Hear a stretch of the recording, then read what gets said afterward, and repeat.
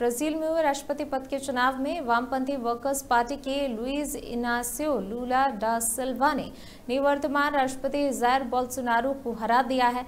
निर्वाचन प्राधिकरण ने रविवार को ये जानकारी दी है। प्राधिकरण के मुताबिक आम चुनाव में पड़े कुल मतों में से अंठानवे दशमलव आठ प्रतिशत मतों की गिनती के अनुसार लूला डासिल्वा को पचास दशमलव आठ फ़ीसदी बोल्सोनारो को उनचास दशमलव दो प्रतिशत मत मिले। आपको बता दें, लूला डासिल्वा 2003 से 2010 के दौरान ब्राज़ील के राष्ट्रपति रह चुके हैं। इस साल के चुनावों ने एक सौ छप्पन मिलियन से अधिक लोगों को वोट डालने की अनुमति दी थी।